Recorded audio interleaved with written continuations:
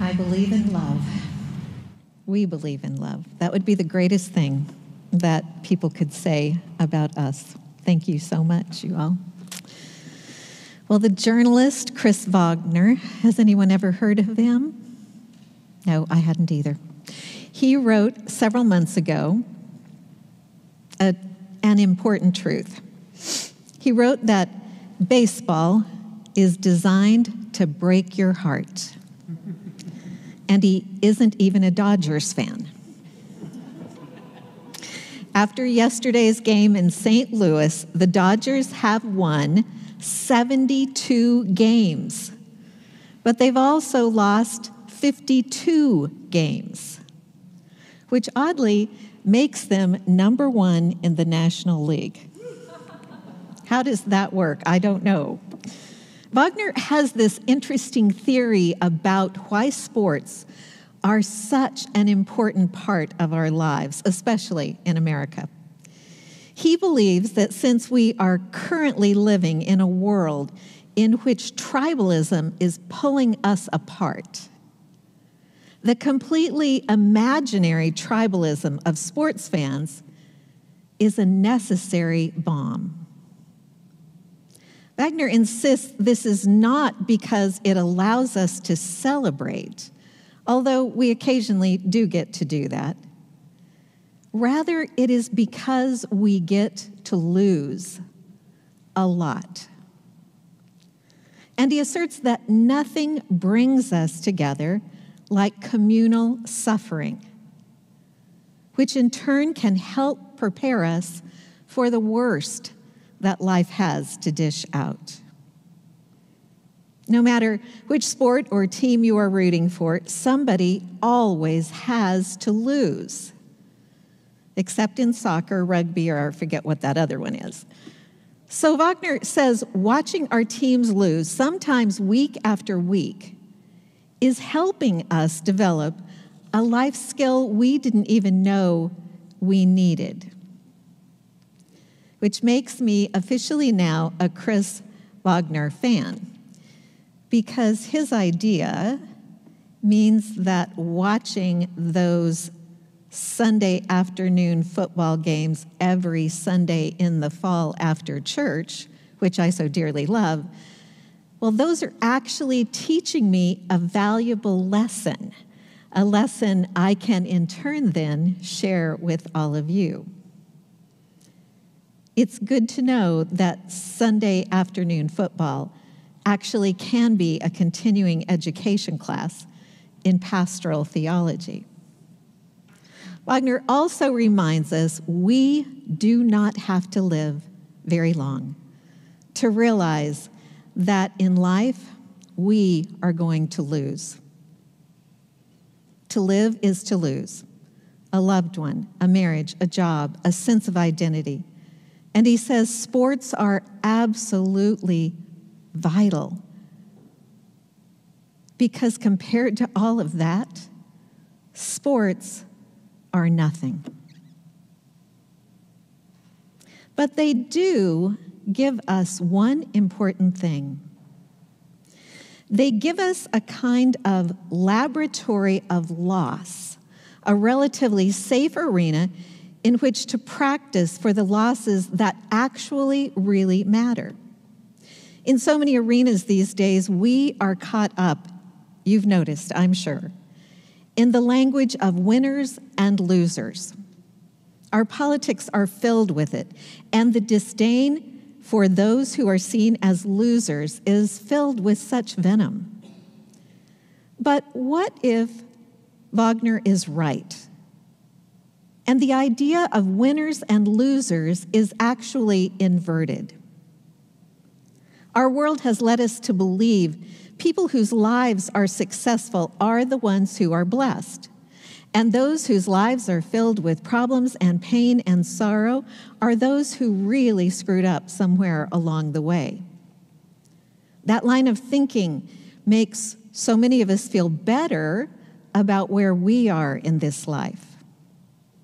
There's even a word for that condition. The original word comes from German, and I can't pronounce it, but the early English word if I can say this, is epikera akase.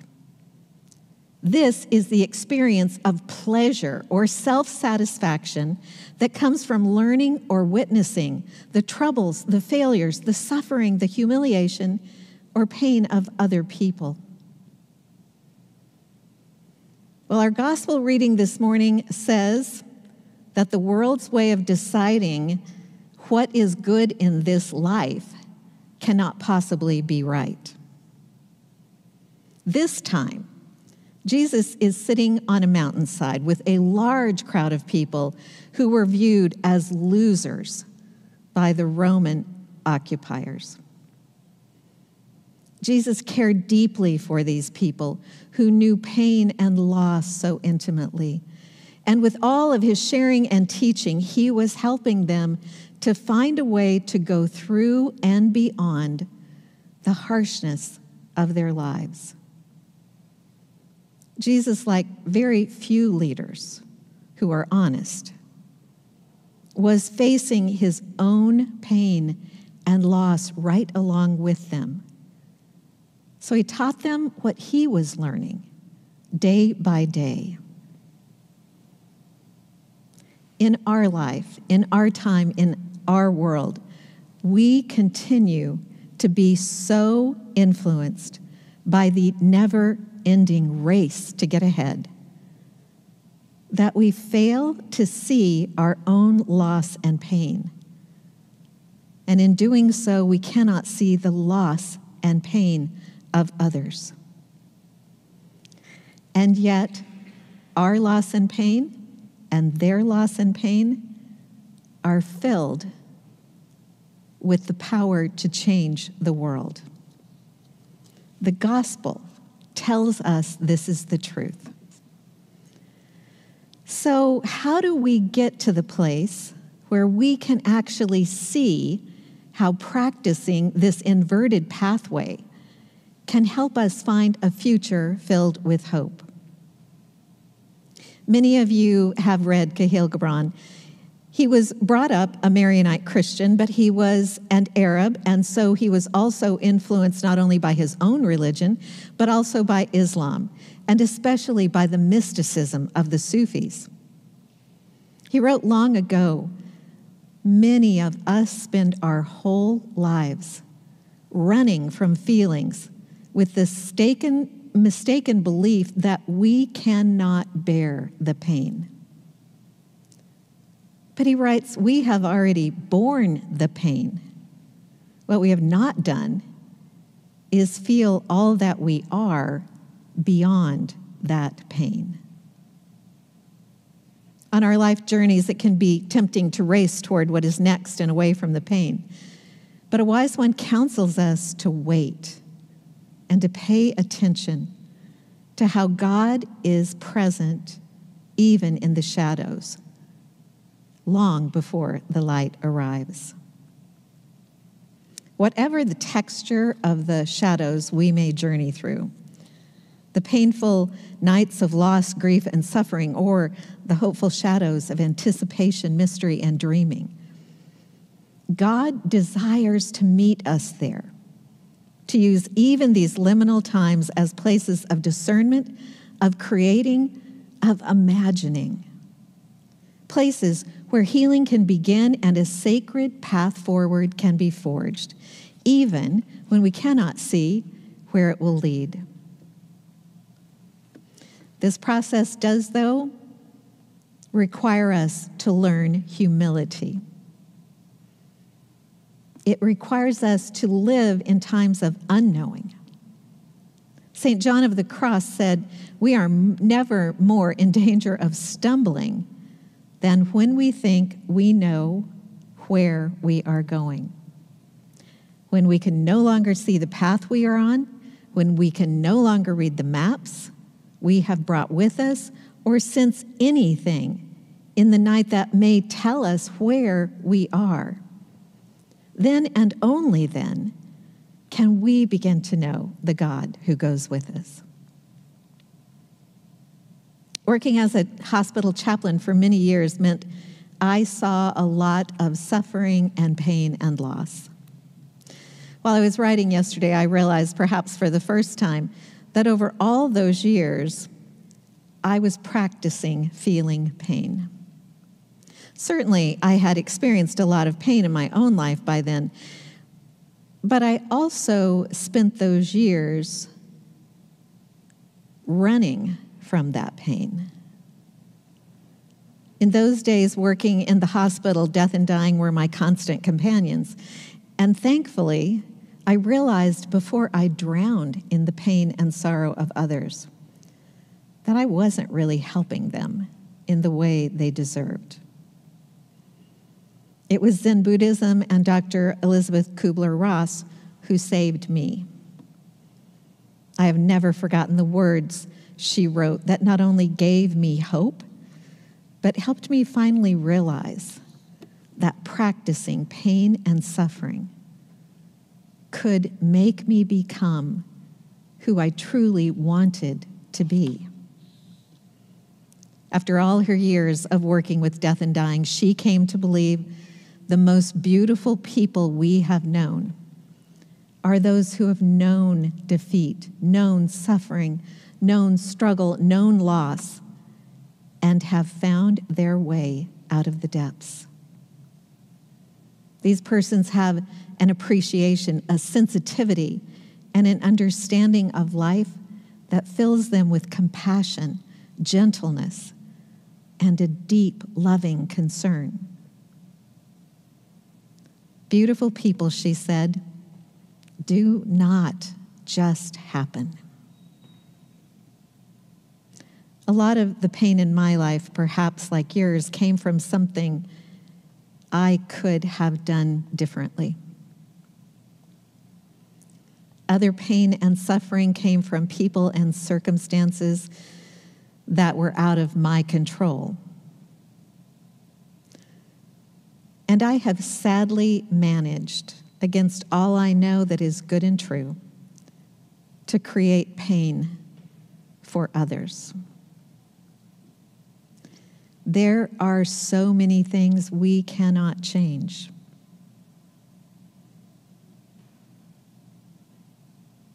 So many things that each of us got wrong. Yet, if we decide to work on those things, if we can put them in their proper place, we have the potential of getting things right from now on. As I wrote this over the last few days, I felt like this sermon was rather simplistic. It wasn't the one, two, threes of some church sermons. But in some ways, I felt that it wasn't capturing the deep pain and loss that many of us may be feeling right now. Someone said to me this morning they were looking forward to this sermon because they believe we are always so positive and so joyous that it's hard to know what to do with our pain. It's hard to know what to do with the loss that we are experiencing. Thankfully, the sermon is only one part of this service. And everyone that has a part of planning these services weaves into the music and the words and the greeting of each other all the pieces that say to us sincerely in this place here it is all right to practice your pain. I'm not sure that any of us have had a lot of those places in our lives. My great hope and my prayer is that we will all know we can be those who are called blessed each and every day of this life that we are so privileged to share. because I believe with all my heart the God of the universe is with us. No matter what we do, no matter how we feel, no matter how lost we find ourselves right now.